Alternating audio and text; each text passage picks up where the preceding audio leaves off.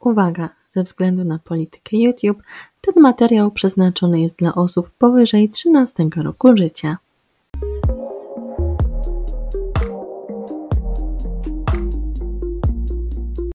Witajcie z tej strony Magdalena i zapraszam Was do recenzji mangi Perfect World.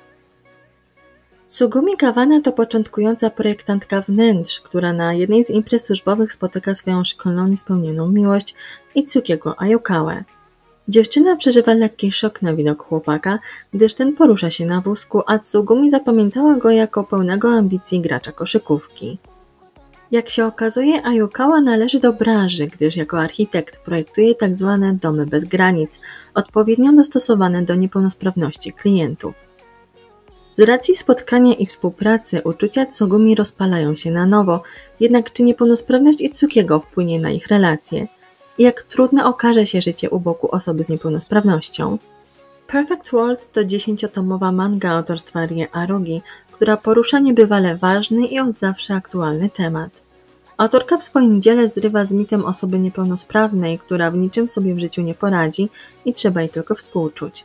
Przerywa tabu i pokazuje, że takie myślenie jest błędne. Itsuki, pomimo niepełnosprawności, odnosi sukcesy w życiu zawodowym, jednak zanim tak się stało, musiał przejść długą i bolesną drogę. To moim zdaniem największy plus tej serii. Temat niepełnosprawności jest poruszony w sposób dokładny i rzetelny. Dowiadujemy się, jak naprawdę wygląda życie na wózku inwalidzkim oraz z jakimi ograniczeniami i problemami zdrowotnymi borykają się tacy ludzie. Nie ma tutaj tak zwanego słodzenia czy łagodzenia tematu. Opisy chorób czy problemów fizjologicznych są czasami bardzo dosadne, jednak uważam, że tak właśnie powinno być. Manga w przystępny i zrozumiały sposób otwiera nam oczy na niepełnosprawność i to, co najważniejsze, przedstawia takich ludzi jako osoby, które walczą o miłość, rodziny i przyszłość równie mocno, co pełnosprawni członkowie społeczeństwa. Taka postawa inspiruje i można ją spotkać nie tylko w mandze Riarugi, ale także w prawdziwym życiu. Przykładem mogą być niepełnosprawne vlogerki modowe, które pomimo swoich ograniczeń wciąż chcą robić to, co sprawia im radość.